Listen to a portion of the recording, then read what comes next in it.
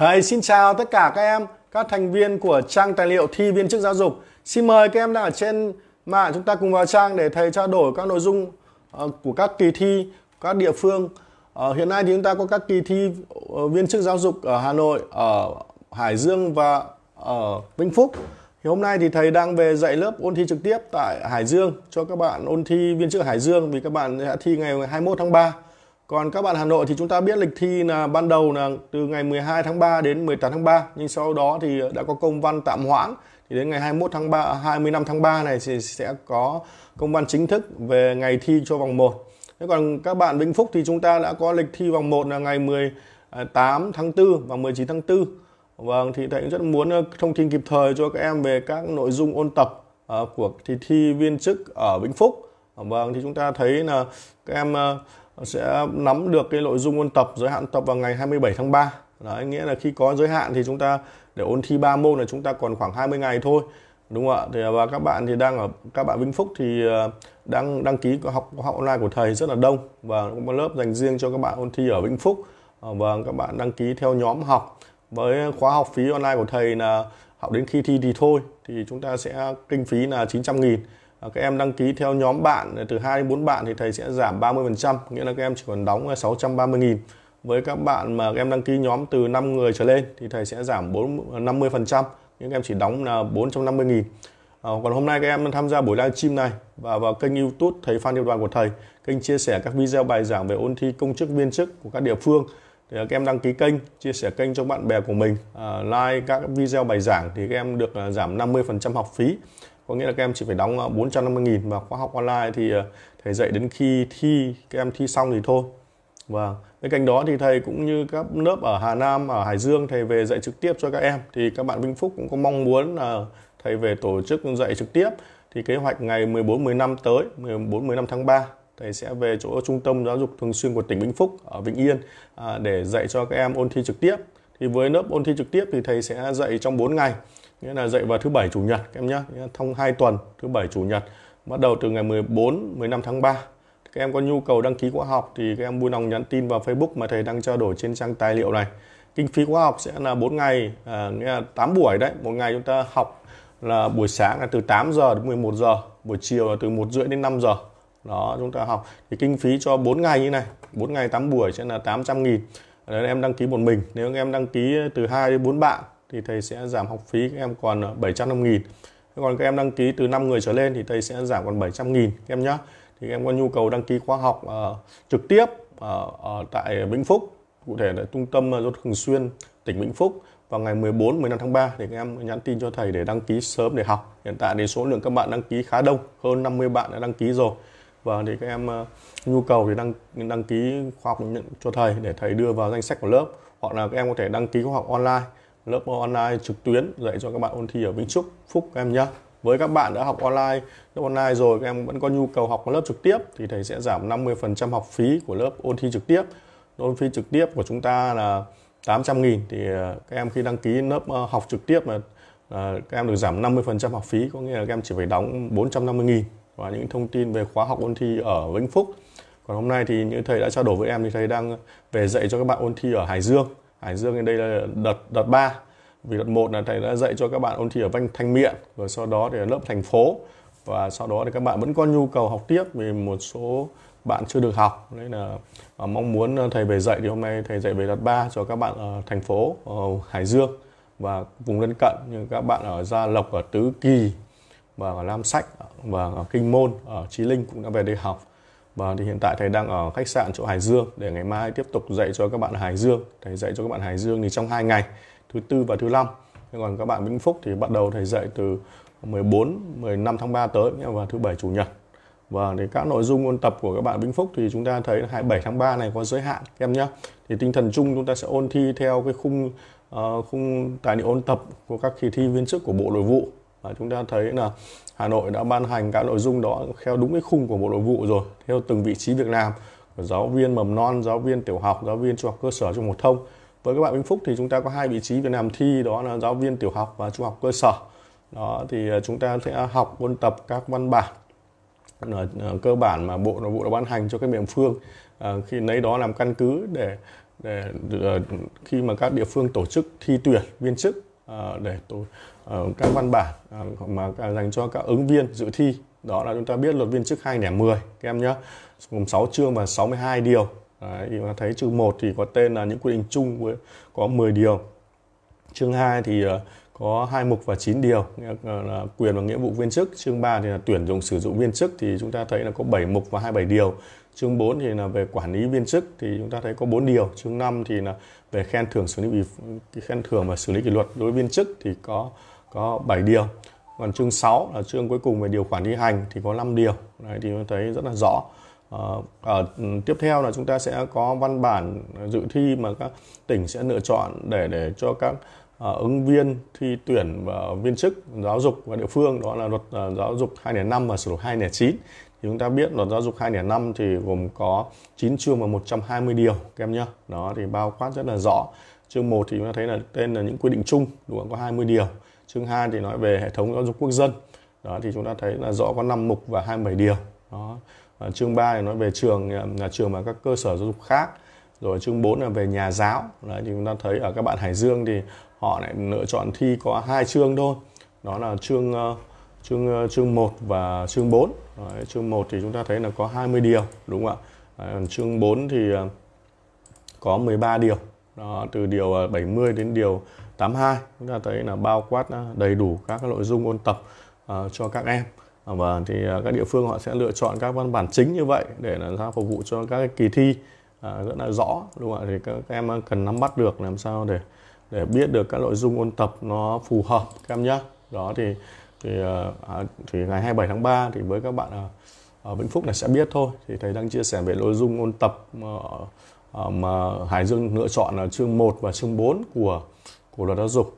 Đấy, còn uh, chương 5 thì là quy định về người học các em nhé à, người học thì có hai mục là 10 điều à, từ điều 83 đến điều 92 chương 6 có tên nhà trường gia đình và xã hội thì có 6 điều từ điều 93 đến điều 98 à, chương 7 thì về quản lý về giáo dục thì chúng thấy nó có 4 mục và 15 điều quy định từ điều 99 đến điều 113 chương 8 thì về khen thưởng xử lý uh, vi phạm thì có 5 điều quy định từ điều 114 đến 118 và chương 9 là điều khoản thi hành thì có hai điều uh, điều 119 120 thì bên cạnh đó đây là những nội dung của luật giáo dục ờ, uh, 2005 thì chúng ta có uh, tất cả các cái nội dung chúng ta thấy về sửa đổi 2009 ấy thì chúng ta trong luật giáo dục 2009 thì đã sửa đổi tất cả.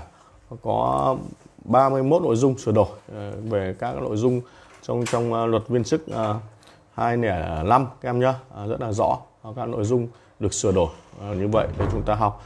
Thì khi các em học thì sẽ được thầy ôn luyện và chỉ rõ những nội dung là sửa đổi trong luật giáo dục 2009 những cái điểm mới điểm khác biệt của luật giáo dục 2005 2009 ta thấy bắt đầu là trong chương 1 thì với luật giáo dục 2009 họ sửa đổi ở điều 6 chẳng hạn đúng không?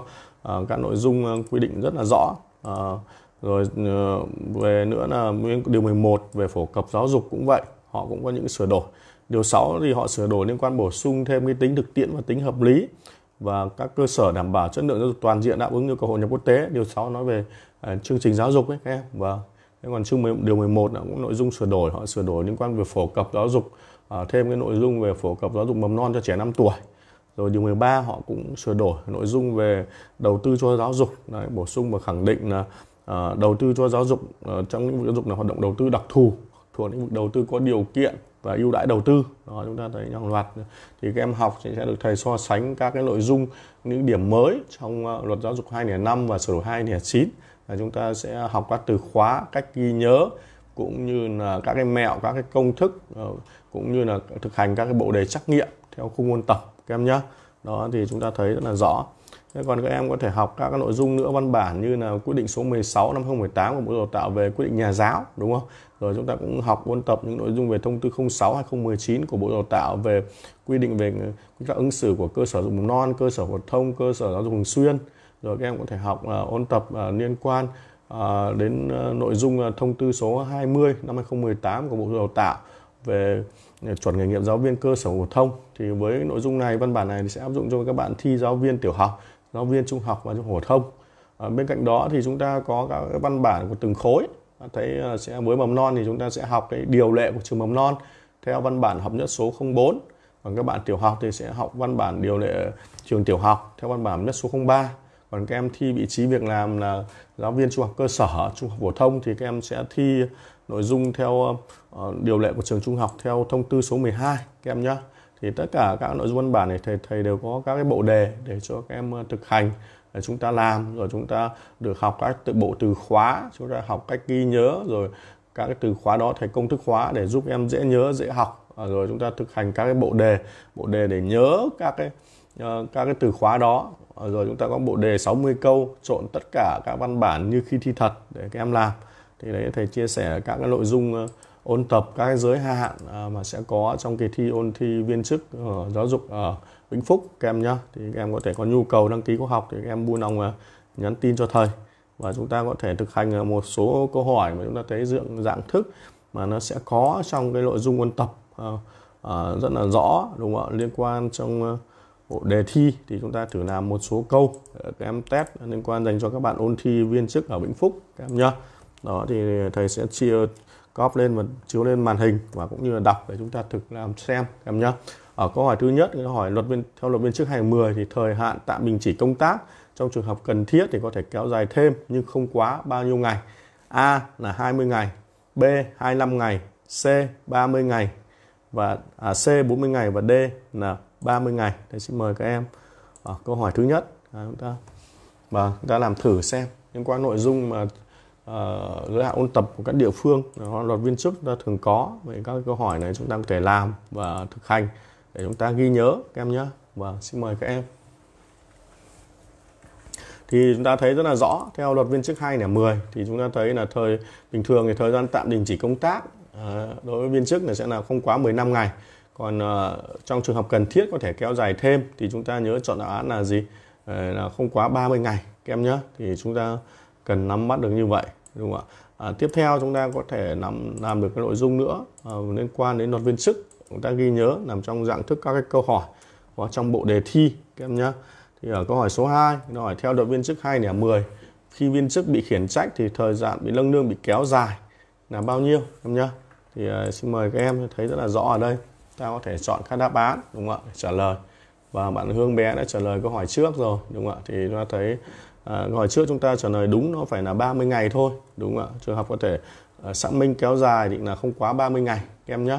Đấy, còn bình thường thì thời gian tạm đình chỉ công tác là không quá 15 ngày còn kéo dài thì là không quá 30 ngày. Ở câu hỏi tiếp theo xin mời các em liên quan đến thời hạn uh, viên chức bị khiển cách uh, thời hạn bị lâng lương cái này quy định rất rõ điều 56 của luật viên chức 2010 vâng bạn Huyền Bùi thì chọn là D còn bạn Hương Bé thì chọn là C. Và thì à, chúng ta thấy rất là rõ ở đây à, theo quy định điều 56 thì khi viên chức bị khiển trách thì thời hạn nâng lương bị kéo dài là 3 tháng các em nhé đây là khiển trách còn với cảnh cáo thì thời hạn bị nâng lương kéo dài là 6 tháng và tỉnh tiến lên đúng không ạ? Là gấp đôi đấy. Còn với trường hợp mà viên chức mà bị cách chức này thời hạn bị nâng lương kéo dài đồng thời đơn vị sự nghiệp công lập sẽ bố trí việc làm khác phù hợp thì là 12 tháng. Đấy các em nhé và viên chức khi bị kỷ luật từ khiển trách đến cách chức thì không thực hiện quy hoạch đào tạo bồi dưỡng Ờ, bổ nhiệm trong thời hạn ờ, là chúng ta nhớ 12 tháng, các em nhé khi có quyết định hiệu lực. Đó, thì chúng ta nhớ về cái mốc thời gian rất quan trọng. Thì câu hỏi này các em phải chọn là D là chính xác em nhé với viên chức mà bị khiển trách thì thời hạn bị nâng lương kéo dài là 3 tháng là D. Các em chọn là D là chính xác rồi. Thì ờ, chúng ta cần nắm được các cái nội dung như vậy. Đấy, cái dạng thức để chúng ta trả lời, các em nhé rất là quan trọng trong từng mỗi câu hỏi để chúng ta biết được, để lựa chọn chính xác. Vâng để chúng ta nhớ, được chưa à, tiếp theo họ hỏi tiếp ở câu hỏi số 3 chúng ta sẽ thực hành với nội dung như sau À, người ta sẽ hỏi là gì ạ? Là theo luật viên chức 2 nẻ 10 thì việc chuyển đổi giữa viên chức và cán bộ công chức được thực hiện theo mấy nội dung các em nhé. Vâng. Thì uh, A là 6 nội dung, B là 4 nội dung, C là 5 nội dung và D là 3 nội dung. Thầy xin mời các em. Ở câu hỏi số 4. Vâng, xin mời các em ạ.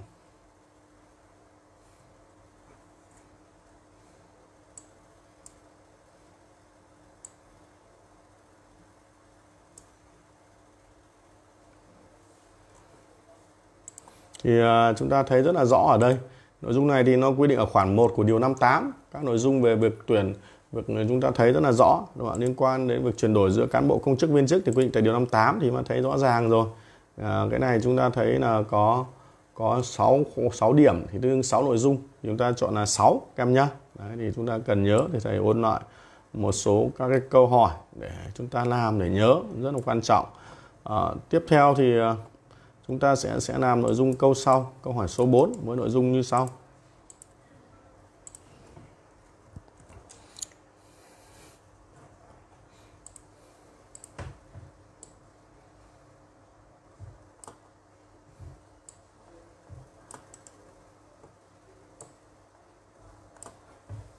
Và chúng ta làm tiếp ờ, câu hỏi số 4 liên quan đến uh, luật viên chức 2010 dành cho các bạn ôn thi ờ, viên chức ở Vĩnh Phúc các em nhé. Câu hỏi số 4 như sau. Đó là theo luật viên chức 2010 thì đơn vị sự nghiệp công lập đơn phương chấm dứt hợp đồng làm việc đối với viên chức bị ốm đau trong thời hạn bao lâu các em nhé. A là 12 tháng liên tục với hợp đồng xác định thời hạn và 6 tháng liên tục với hợp đồng uh, không xác định thời hạn uh, với hợp đồng xác định thời hạn 36 tháng liên B 36 liên tục uh, tháng liên tục đối với hợp đồng không xác định thời hạn 12 tháng liên tục với hợp đồng xác định thời hạn C là khoảng 12 tháng đối với hợp đồng không xác định thời hạn, khoảng 6 tháng đối với hợp đồng xác định thời hạn. D khoảng 36 tháng đối với hợp đồng không xác định thời hạn, khoảng 12 tháng với hợp đồng xác định thời hạn. Thì chúng ta thấy rất rõ rồi. Nội dung quy định à, về liên quan đến trường hợp ở các trường hợp mà, chúng ta thấy có 5 trường hợp mà đơn vị sự nghiệp công lập có quyền đơn phương chấm dứt hợp đồng lao động đối với viên chức ấy. Và thấy rất là rõ, đúng không ạ? Thì em thấy ở này, nội dung này nó nằm điểm C của khoản 1 thì các em phải chọn là A nhưng bạn Huyền Bùi lại đưa ra, chúng ta nhớ, đúng không ạ? Đơn vị sự nghiệp nó có quyền đơn phương chấm dứt hợp đồng đối với viên chức bị ốm đau.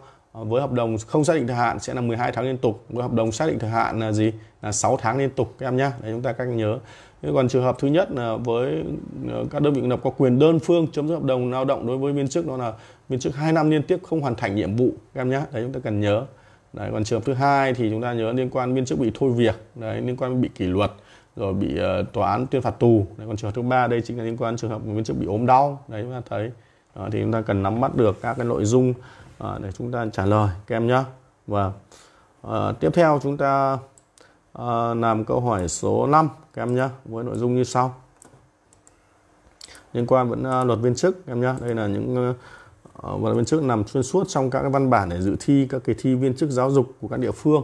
Các em nhé chúng ta cần ghi nhớ câu hỏi số 5 thì theo đột viên chức 2 điểm 10 thì, uh, chúng ta thấy rất là rõ đúng không ạ? Vì à, ra câu này thì à, Facebook là nghĩ spam mà nên là sẽ chiếu chậm lên. Thì uh, theo đột viên chức 20 thì người đứng đầu đơn vị sự nghiệp công lập các em nhá. thì uh, không được đơn phương chấm dứt hợp đồng làm việc đối viên chức nữ đang có thai và nuôi con uh, bao nhiêu tháng tuổi? A dưới 10 8 tháng tuổi B dưới 24 tháng tuổi C dưới 36 tuổi và D dưới 12 tháng tuổi. Thầy xin mời các em. À, bạn Huyền Bùi bạn Nương Nguyễn đều chọn là C đúng không ạ? Thì à, chúng ta thấy ra rõ rồi như các bạn đã đưa ra với viên chức nữ mà dưới 36 tháng tuổi thì đơn vị sự nghiệp công lập không được đơn phương chấm dứt hợp đồng. Đấy, chúng ta có 3 trường hợp mà đơn vị sự nghiệp công lập không được đơn phương chấm dứt hợp đồng. Đấy, trong đó có trường hợp là gì? Viên chức nữ đang mang thai nuôi con dưới 36 tháng tuổi các em nhé đó thì các em đã làm rất là chính xác à, xin chúc mừng các em. Vâng đó là chúng ta ta biết cách à, trả lời. Vâng đến câu hỏi số 5 và vâng, chúng ta làm tiếp câu hỏi số 6 các em nhé liên quan các câu hỏi liên quan đến luật viên chức các em nhé và vâng. câu hỏi số 6 đưa ra là theo luật viên chức 2.10 các em nhé thì uh, viên chức làm việc uh, theo hợp đồng xác định thời hạn có quyền đơn phương chấm dứt hợp đồng khi bị tai nạn khi ốm đau đã điều trị bao nhiêu tháng? A là 6 tháng B là ít nhất 3 tháng à, C là ít nhất 6 tháng và D là từ 3 tháng. Thầy xin mời các em ở câu hỏi số 6 và bạn Huyền chọn là C. Vâng.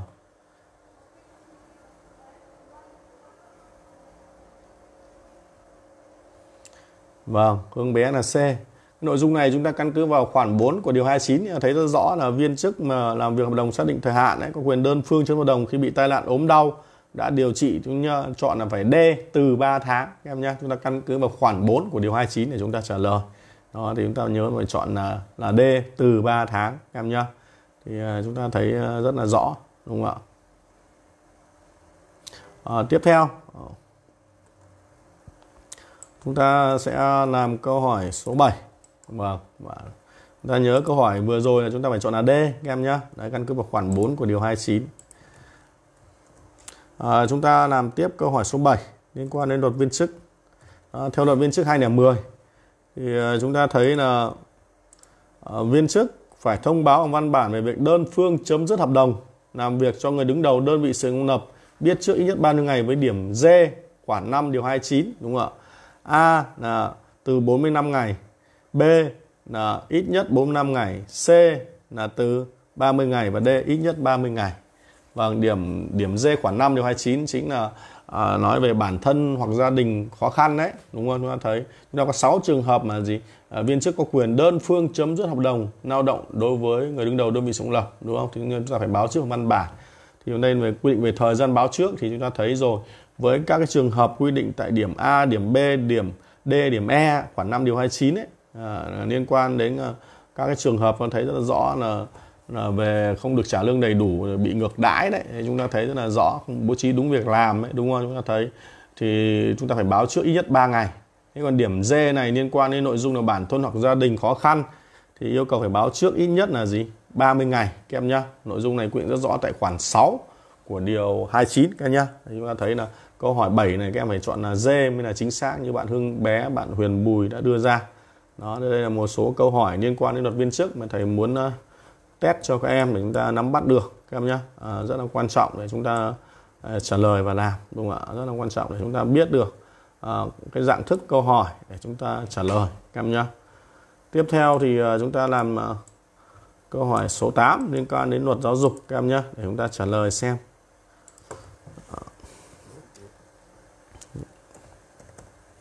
Câu hỏi số 8 đưa ra là theo điều 29 của luật giáo dục 2009 ấy, sửa đổi thì cơ quan nào chịu trách nhiệm về chất lượng chương trình giáo dục ờ, ờ, phổ thông và sách giáo khoa em nhá. A à, chúng ta thấy là gì? Là Bộ trưởng Đào tạo, B là nhà nước, C là chính thủ tướng chính phủ và D các bộ cơ quan ngang bộ. Để xin mời các em.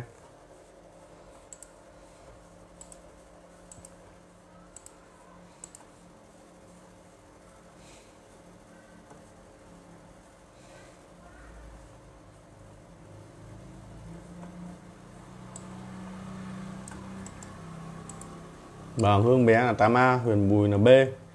Đúng không ạ? Chúng ta thấy câu này chúng ta thấy liên quan đến điều 29 của luật giáo dục 2009 ấy, sửa đổi chúng ta thấy cơ quan chịu trách nhiệm về chất lượng chương trình phổ thông và sách khoa à, thì nhớ là chịu trách nhiệm mà chúng ta gắn với gì? Với như thầy nói từ khóa chúng ta gắn với bộ trưởng đào tạo các nhá. Quy định thì 90% là bộ trưởng còn chịu trách nhiệm là 100% trong luật giáo dục 2 năm chúng ta nhớ cái câu hỏi chịu trách nhiệm chúng ta chọn là bộ trưởng bộ giáo dục đào tạo thì phương án câu hỏi số 8 này các em phải chọn là A mới là chính xác các em nhé và vâng, chúng ta làm tiếp câu hỏi số 9 các em nhé liên quan đến luật giáo dục. À, vâng à, bạn chưa học thì em chúng ta sẽ học sau. À, bạn Huyền Bùi nhé có đầy đủ hết à, các nội dung trong lớp học của chúng ta. A à, câu hỏi về liên quan câu hỏi số 9 là theo khoản 1 của điều 8 luật giáo dục năm. Phương án nào sau đây? Dưới đây là sai khi nói về quy định văn bằng của hệ thống giáo dục quốc dân các em nhé A là bằng tốt nghiệp tiểu học, B bằng tốt nghiệp đại học, C bằng thạc sĩ và D bằng tốt nghiệp trung học cơ sở. Thầy xin mời các em.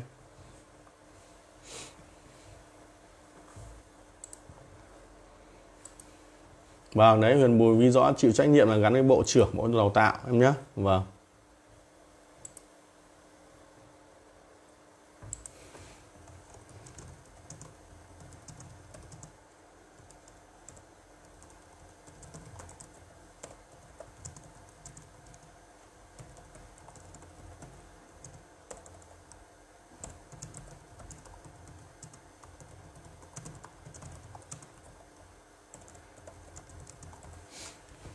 Đó, bạn uh, Lương Nguyễn là A.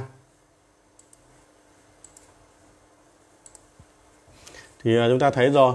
À, chúng ta thấy hệ thống văn bằng của chúng ta là gì bắt đầu từ bằng tốt nghiệp trung học cơ sở, trung học phổ thông, bằng trung cấp, bằng cao đẳng, bằng đại học, bằng thạc sĩ, bằng tiến sĩ.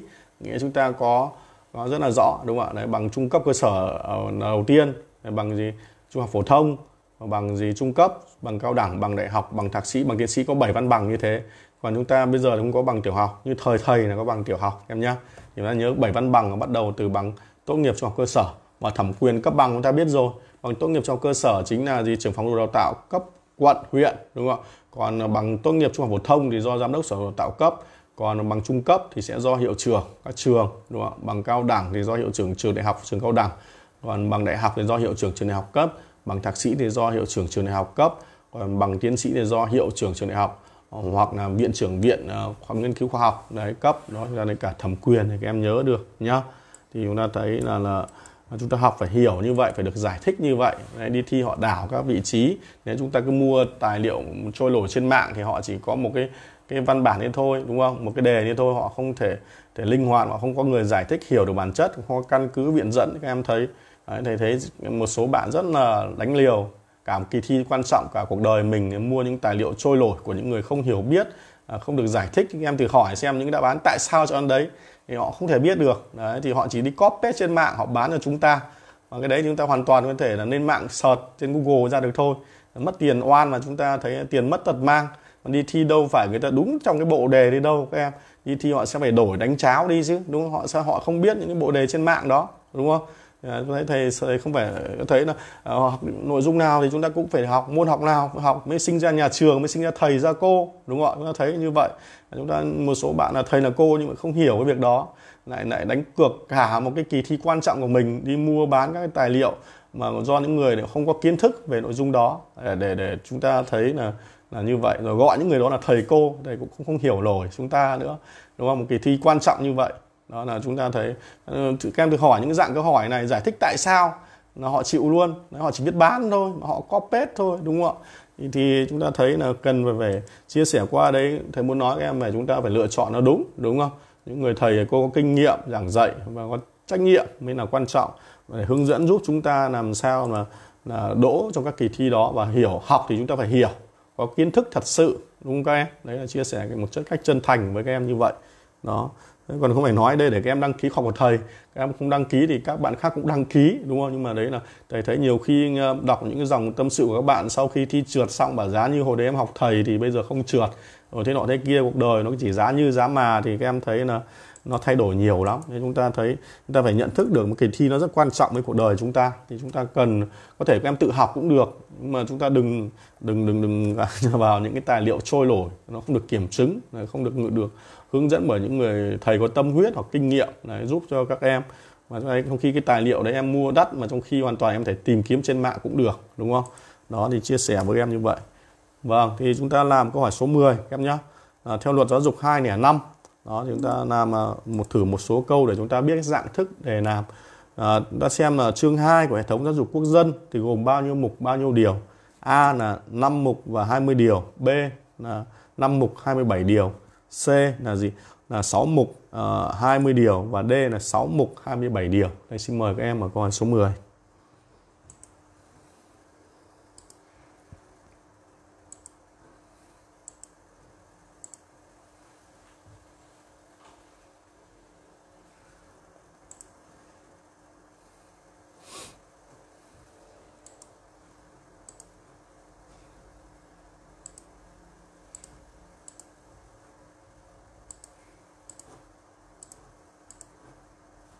Vâng thì chúng ta thấy rất rõ ở câu hỏi số 10 này. À, chúng ta biết chương 2 quy định về hệ thống giáo dục quốc dân. Hệ thống giáo dục quốc dân chúng ta hiện nay cùng các cơ sở giáo dục quốc ở cơ sở sau, đúng không? Nó tương đương với 5 5 mục đấy là 5 cơ sở, đúng không? Và chúng ta nhớ là ờ, nó quy định ở nội dung của chương 2 nó quy định từ điều 21 đến điều 47, nghĩa là có 27 điều. Vì vậy chúng ta sẽ chọn đáp án là gì? Là B 5 mục 27 điều năm mục này nó thể hiện năm cơ sở giáo dục. Hiện nay cơ sở giáo dục mầm non cơ sở phổ thông cơ sở giáo dục uh, nghề nghiệp cơ sở thường xuyên và cơ sở giáo dục đại học. Đấy năm mục đấy chính là nói về năm cơ sở giáo dục. Và ờ, 27 điều nó quy định chính từ điều 21 đến điều 47 các em nhá. Và để chuẩn được các điều ta lấy là điều cuối trừ điều đầu cộng 1 đấy là 47 trừ 21 thì bằng 26 cộng 1 là 27 các em đếm tay là cũng ra. Đó thì đây thầy cho các em thử thực hiện các câu hỏi 10 câu hỏi trong đó những câu hỏi về luật viên chức uh, 2 là 10 luật giáo dục 25 sửa đổi hai là 9 để chúng ta biết dạng thức đề thi dành các bạn các bạn ôn thi viên chức giáo dục và uh, ờ, chúng ta thấy đúng không ạ? Uh, ở Vĩnh Phúc và cảm ơn bạn Huyền Bùi vẫn nhớ những nội dung thầy chia sẻ. Thì uh, rất mong các em uh, lắng nghe những video bài giảng của thầy. Khi đã vào lớp rồi chúng ta thấy những bài giảng rất là hữu ích đúng không các em thấy chúng ta nghe đi nghe lại nhiều lần sẽ giúp chúng ta nhớ rất lâu rất sâu rất ngấm rất thấm đúng không ạ? Đấy thì chúng ta thấy là người ta đề thi người ta dạng thức kiểu nào chúng ta vẫn trả lời được khi chúng ta đã có kiến thức hiểu được đúng bản chất vấn đề các nội dung ôn tập các em nhé đó, thì hôm nay thầy muốn nên trao đổi với các em về các nội dung ôn tập ờ, và cho các bạn ôn thi viên chức ở Vĩnh Phúc ờ, vì các bạn ờ, vòng 1 sẽ thi vào ngày 18, 19 tháng 4, đúng không? 27 tháng 3 này chúng ta mới có giới hạn. Nhưng mà chúng ta chờ đến ngày đó chúng ta học thì thầy sợ là không kịp, đúng không? Trong khi chúng ta thấy chỉ có 20 ngày học 3 môn thì chúng ta hoàn toàn thể ôn tập trước với những nội dung khung ôn tập của Bộ Nội vụ dành cho các địa phương rồi. Những văn bản chính mà thầy đã nói với các em, đấy, các địa phương thấy đều có trong luật viên chức 2010, luật giáo dục 25, sửa đổi 2009, rồi chúng ta thấy có quyết định số 16, rồi quyết ờ, thông tư số 06, rồi chúng ta có thông tư số 20, rồi chúng ta có điều lệ trường mầm non với ngành của các bạn, ôn thi mầm non theo bản nhất 04 với các bạn tiểu học chúng có điều lệ văn bản hợp nhất số 03 rồi các bạn thi trung học cơ sở phổ thông thì chúng ta sẽ học thông tư số 12 ban hành điều lệ trường trung học thì chúng ta hoàn toàn để học trước. À, nó sẽ à, học trước chúng ta sẽ có kiến thức trước, nó yên tâm hơn. Chúng ta sẽ là dành thời gian nhiều hơn so vòng 2 sau này. Thế còn đến cái thời điểm đó chúng ta mới học, mới tốc lực vác chân lên cổ mà chạy một lúc. Cái gì cũng hoang mang, cái gì cũng chưa đâu vào đâu, cái gì vẫn mung lung rồi vòng 1 cũng không xong và vòng 2 cũng chả tới. Đấy, chúng ta thấy đã xác định một kỳ thi chúng ta cần có sự chuẩn bị trước các em nhé người thành công là luôn là người có sự chuẩn bị. Đấy giả sử các em có đăng ký học trước của thầy thì học phí nó vẫn vậy. Rồi thậm chí là các em ờ, ờ, vào vào ngày gấp thì cũng thế thôi. Trong khi tại sao chúng ta không học trước để chúng ta có kiến thức? Đúng không ạ? Đấy là chia sẻ với các em như thế. Đừng để cho mình là gì gấp gáp và như thế thì không bao giờ thành công được. Đấy, kỳ thi nào thì chúng ta thấy chúng ta đều phải có sự chuẩn bị kỹ lưỡng đúng không? Một cuộc hành quân nào cũng vậy thôi cần có sự chuẩn bị. Ờ, một cái, cái trái cây nào cho quả ngon thì chúng ta cần tưới tắm cần thời gian chăm sóc nó chứ không thể là là tốc lực lên được đúng không ạ? Chúng ta thấy không dục tốc là bất đạt. Đấy, cái gì nhanh thì cũng không đạt được kết quả nó tốt được. Thì thầy cũng muốn chia sẻ qua video này rất mong em hiểu điều đó à, chúng ta đều là những người trong nhà giáo cả nó nằm trong công tác ngành giáo dục chúng ta càng hiểu được điều đó. Chúng ta thấy cần có sự đầu tư cần có sự học hành chuẩn bị trước. Hôm nay các bạn Hải Dương chỉ còn 10 10 ngày nữa thi thôi nhưng các bạn trong thí trong mùa dịch này thôi nhưng các bạn rất là à, thầy đã tổ chức hai đợt rồi. Nhưng mà, mà à, các bạn vẫn mong muốn học đợt thứ ba đấy vẫn mong muốn học. Đấy chúng ta thấy mình có tinh thần ham học như thế. À, và thầy hiện tại đang nghỉ ở khách sạn chỗ Hải Dương để mai tiếp tục hướng dẫn cho các bạn ôn thi Hải Dương. Thì thầy rất mong các bạn ở các địa phương khác à, chúng ta cũng sắp xếp thời gian ôn tập có thể các em tự học theo phương pháp mà thầy đã hướng dẫn hoặc các em có thể vào kênh YouTube thầy Phan Điệp Đoàn của thầy. Trên đó có các video bài giảng toàn bộ các video bài giảng mẫu ôn thi công chức viên chức của các địa phương. Thì các em có thể đăng ký kênh đúng không ạ? Để chúng ta được lắng nghe trọn vẹn các video bài giảng trong đó rồi chia sẻ kênh uh, cho các bạn bè của mình để chúng ta cùng ôn thi. Đây là kênh ờ, YouTube chia sẻ miễn phí các em không mất gì cả đúng không ạ? Chúng ta vào đó chia sẻ kênh à, các em thấy hoan hỉ thì các em thể like cho thầy một ờ, like trên video. Vì các em chẳng mất gì cả các em chỉ được thôi. Đó chúng ta thấy biết chia sẻ cho nhau tri thức là chia sẻ để lan tỏa để yêu thương để hỗ trợ nhau trong kỳ thi các em nhé đó thì thầy xin phép trao đổi các nội dung liên quan đến kỳ thi viên chức ở Vĩnh Phúc những nội dung tập dành cho các em. Nếu các em có mong muốn đăng ký khóa học online của thầy thì các em đăng ký trong buổi tối ngày hôm nay khi em ờ, xem buổi livestream này cũng như vào kênh youtube thầy Phan Điệp Đoàn của thầy các em đăng ký kênh chia sẻ kênh cho bạn bè của mình. À, cũng như là à, like các video trong đó thì các em được giảm 4 mà là à, 50% học phí. Có nghĩa là các em chỉ phải đóng 450 nghìn và học đến khi thi thì thôi. Trong khi học phí gốc của thầy lớp online đó là 900 nghìn. Đồng thời các bạn ở Vĩnh Phúc theo nhu cầu của các bạn thì ngày 14 15 tháng 3 tới nghĩa là thứ bảy chủ nhật này thầy sẽ về dạy ở trung tâm giáo dục thường xuyên tỉnh Vĩnh Phúc các em nhé thì ờ, các em có nhu cầu học trực tiếp trong 4 ngày của thầy thầy sẽ dạy vào các hai ngày thứ bảy chủ nhật. Đấy, thì dạy cả ngày các em nhé hai đợt ờ, thì sẽ dạy hướng dẫn cho các em ôn thi trực tiếp thì các em có nhu cầu đăng ký trực tiếp và nhắn tin cho thầy.